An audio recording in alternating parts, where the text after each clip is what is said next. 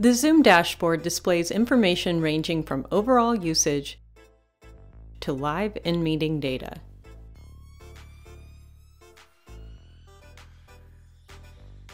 Owners and admins with certain account plans can access the dashboard in the Zoom web portal.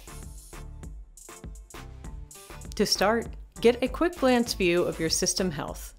View live usage and quality by meeting, webinar, room, or phone. In the center of each graph, view the total number of members currently using products. Hover over graphs to drill in for example, one live meeting is happening now with a participant experiencing bad quality. Upon clicking, we're navigated to the Meetings tab, viewing a participant in a live meeting. The participant shows Warning in the Health column and further, a few unstable network alerts in the Issue column. This information, and more found across the row, can help us diagnose the issue.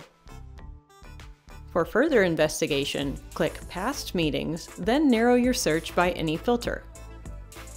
Perhaps you find there are repeated issues in this data center or for this host. Click the hyperlinked name of any past meeting to drill in even further and learn details about attendees, their locations, devices, and much more. Like most views in the dashboard, you can click the settings gear icon in the top right corner to customize the columns shown. Suppose you want to support a user in real time. Return to Live Meetings, select the meeting ID, and then Join as a live assistant. This button allows you to join any active meeting as a co-host if the host is also logged in and in the meeting. Returning to the main dashboard tab, click Usage Data to see things like the total number of active users, meetings, audio conferencing or phone usage, webinars, recording storage used, and more. Click the drop-down above to customize the time frame. Below, examine the percentages of users running certain versions of Zoom. Click the hyperlinked version number to drill in. This is helpful information to have because older versions of Zoom may not support some features and could be causing preventable issues. Below that, get a high-level view of several more account metrics.